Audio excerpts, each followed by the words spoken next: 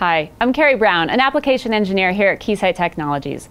Autonomous vehicles promise to change the nature of commercial and passenger transportation over our roadways. For example, camera and radar require a much higher data rate than the backplanes that are used in the cars today. Automotive Ethernet can handle that faster data rate, but you'll need to be concerned about compliance testing for transmit, receive, as well as the harness and connector within the car. You could go without that compliance testing, and it might just work until it doesn't work, or you have a problem integrating to your OEM, or there's just a high failure rate. In order to avoid that complication, you want to try and do compliance testing before you integrate the vehicle, or before you integrate to the vehicle. We're going to take a look specifically at the harness and connector automotive Ethernet test today.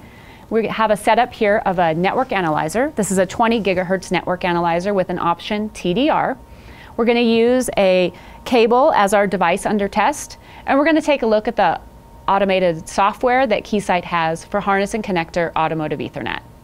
This setup is not new. You can today walk through the IEEE specification and manually set up your network analyzer to run these tests. The test setup and the test result analysis is tedious, especially crosstalk measurements. Furthermore, each test items have different test limits. What is new and what I want to show you today is the Keysight application that can automate this test process. This is the main GUI window for the new software.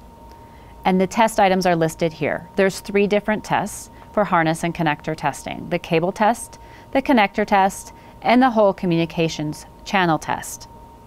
I'm going to select one to show you, the connector test. Here you would you see into the test, you have the start and the stop time. You would select measure and then check compliance.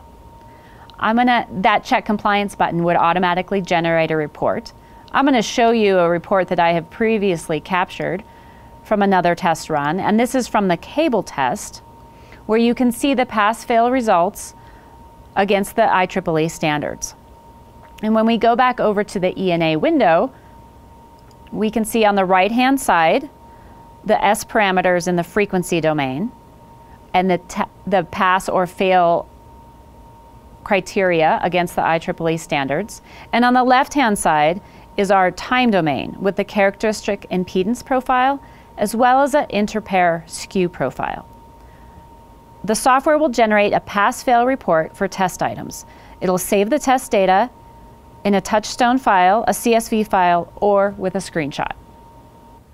Keysight is fully invested in the creation of a complete solution for automated testing of automotive Ethernet.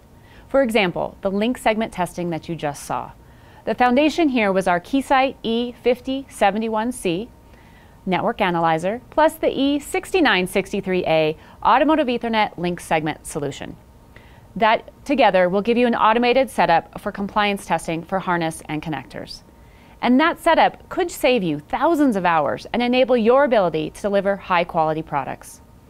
You can learn more about the solution at the address on the website on your screen. Thank you very much for watching and have a great day.